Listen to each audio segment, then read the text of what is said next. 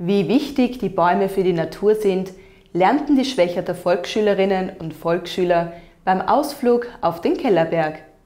Dort konnten sie selbst verschiedene Bäume pflanzen. Und das machte den Kleinen großen Spaß.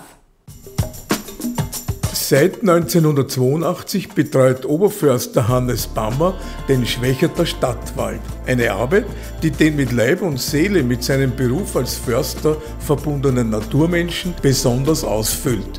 Denn hier kann er seine Vorstellungen vom Naturwald, sozusagen vom Nationalpark im Kleinen, seit fast drei Jahrzehnten gezielt umsetzen. Neue Bäume hier im Stadtwald von Schwächert. Wie viele Bäume stehen denn da insgesamt? Wir haben äh, in einem Zeitraum von 2005 bis jetzt circa 8 Hektar, also das sind 80.000 Quadratmeter, äh, aufgeforstet, also Wald, teilweise Ersatzaufforstungen für Rodungen, die ja ab dem Zeitpunkt, wo man die Pflanzen raussetzt, Wald sind.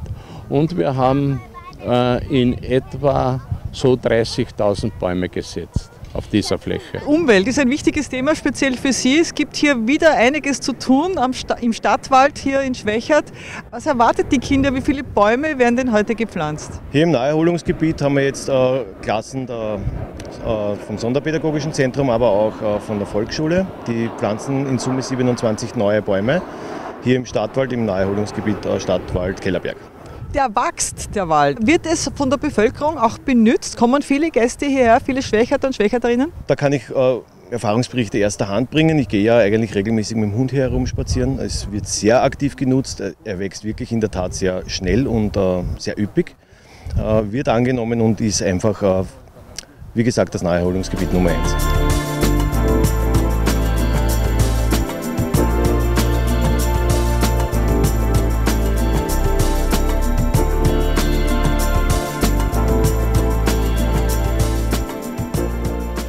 Kinder dürfen heute selber Bäume setzen. Welche Sorte wird denn hier jetzt eingepflanzt? Ja, wir haben also Laubholz und von Laubholz haben wir also die wichtigste, was hier vorkommt, die Eiche und die Linde. Und wir Forstleute sagen dazu Nebenholzarten wie Vogelkirsche, Eberesche und Sträucher haben wir noch den wolligen Schneeball und äh, die Dirndl. Dirndl hat, äh, ist unter gelber Hartriegel bekannt und die Deutschen sagen dazu Kornelkirsche.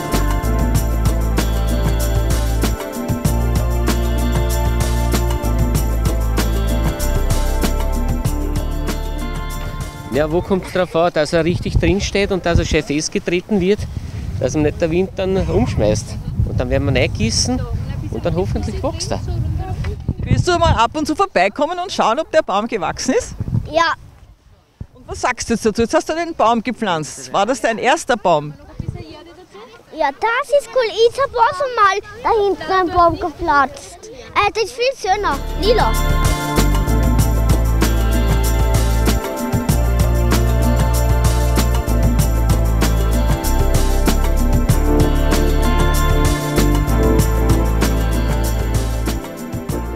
Man auch hier Tiere finden, also jetzt Wildtiere? Definitiv. wir haben auch den äh, Förster da, der die Kinder auch gerade darüber aufklärt. Gibt es äh, von Kleintier bis Großtier alles.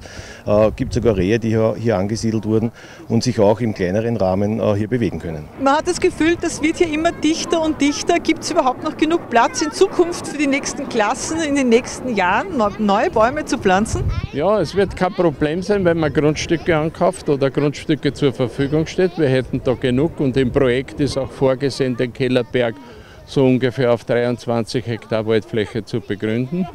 Äh, das ist die Frage der Finanzen. Wenn Fläche vorhanden, dann kann man jedes Jahr die Aktion mit den Kindern machen, was sehr wichtig ist, dass ein Kind einmal einen Baum pflanzt. Vielleicht ist das einmalig oder vielleicht ist dann später, dass man selber mal Bäume pflanzen kann, wenn man ein Grundstück hat. Aber es ist im Prinzip eigentlich einmalig, dass man einen Baum pflanzen kann.